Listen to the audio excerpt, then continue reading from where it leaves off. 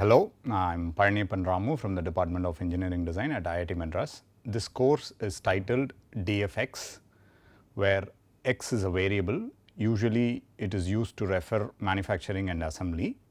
In this particular course, we are going to cover four modules, which is design for robustness, design for manufacturing, design for assembly and design for sustainability. First, I will give an overview of the entire course and then my co-instructor Professor Saravana Kumar will talk about uh, design for manufacturing and assembly while I give an overview about design for quality and sustainability. The whole idea of design for X is to see how one can make an intelligent or wise decision at the design stage while trying to account for some activities that come at a later point, meaning after design such as manufacturing, assembly, quality control or robustness and sustainability. So, we cannot wait until we face all these things, come back and make a change in the design. Hence, we want to account for these at the design stage itself. So, the entire scientific framework on how to foresee the problems in each of these cases and account them at the design stage itself is what DFX is. For instance, there are also other sorts of X like serviceability, but we do not cover all that. We only cover the DFMA which is manufacturing and assembly and design for quality and sustainability. So, under design for quality, I will introduce concepts on robustness. Robustness is nothing but when there is enough variation in the input, there should be limited variation in the output. So, irrespective of the usage condition, the performance of a machine or an automotive should not vary too much. That is the idea of robust design. So, we will introduce concepts of robustness and how this concept of robustness can be used in driving design for quality. Quality is usually associated with the manufacturing phase. The moment the product is designed and is sold to a customer, the performance becomes a reliability issue. Until it is with the manufacturer, it is a quality issue. So, we will uh, introduce concepts on uh, design of experiments, how to uh, design specific experiments to understand the variability in the performance, how to quantify that variability and how to control that variability to attain a robust design and hence a quality design will be discussed in DFQ which is designed for quality. The quality in this particular case will be achieved through the concept of robustness. The last part of the course will talk about design for sustainability. Today sustainability is a big buzzword.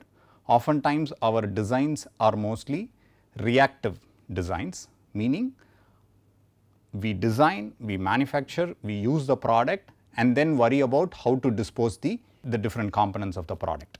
This is called reactive design. If you want to account for sustainability at the design stage itself, then it is called a proactive or an active design. So, we are talking about an active design here which is DFS design for sustainability. So, usually sustainability is quantified by the environmental impact and it has different aspects of course, the environmental aspect, the social aspects. So, how to account for all these things in terms of quantifying and bringing them into the design stage will be covered in the design for sustainability part. Usually this design for quality and sustainability is widely used in the industry uh, per se any industry, but more specifically in automotive and aerospace industry today. Of course, biomedical electronics also it is widely used. Uh, so, anyone who is interested uh, in um, being placed in such companies or someone who is already working in those companies where people see a lot of variability in the manufactured components or there is variability in the performance and they want to understand how to reduce these variabilities by identifying the right factors and conducting those designed experiments to identify these factors should take these courses. There are also other names to this design for quality um, because basically the idea here is to account for the variability. So, sometimes it is called design for variance or design for variability and off late people started using the word design for uncertainties and uh, latest uh, machine learning techniques and associated artificial intelligence techniques are also widely used to understand these uncertainty characteristics. I hope uh, this conceptually interests you and uh, you will register for this course and benefit out of this course. I hope to see you guys in my course. And over to my co-instructor Professor Saravana Kumar who will talk about design for manufacturing and assembly. Greetings to one and all. Uh, my colleague Professor Palaniappan Ramu has uh, nicely introduced the course on DFX. As he rightly pointed, uh, the various uh, attributes associated with uh, the uh, manufacturing and quality control aspects of a product has to be accounted for in the design stage. To emphasize the point, about 20 um, percent of the cost is associated with the design stage, but it decides the 80 percent of the cost that goes into manufacturing, assembly or quality control, marketing and uh, finally the disposal of the product. So, to look into all these aspects, how the design can efficiently uh, manage both the operation as well as the end uh, of the part. So, uh, specifically coming to design for manufacturing and assembly, um, manufacturability is associated with the cost of manufacturing as well as ability to attain uh, specific uh, attributes or part features in the part. Certain surface finishes or certain uh, feature dimensions may not be uh, possible for us to manufacture using certain processes.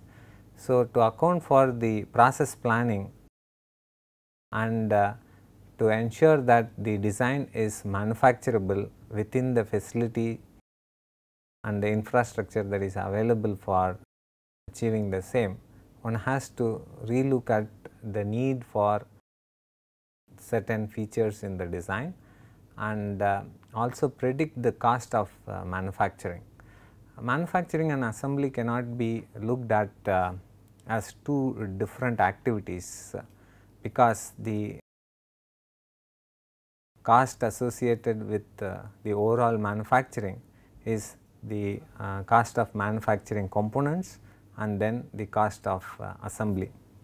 If the degree of difficulty of uh, manufacturing is uh, reduced, it will increase the um, degree of difficulty as well as cost of assembly.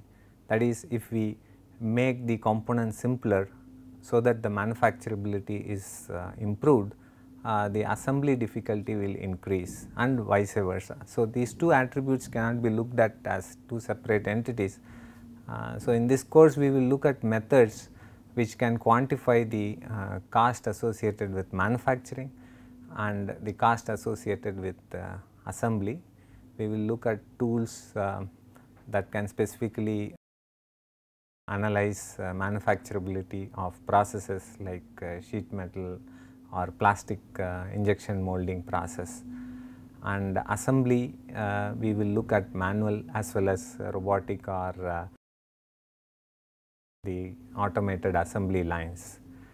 Uh, along with this DFM M and A, the quality and the uh, robustness and reliability and sustainability of the product uh, is uh, important and uh, I hope uh, this course will uh, take care of the additional you know qualities that you can develop as a design engineer and uh, be a value addition to your uh, other courses. Thank you.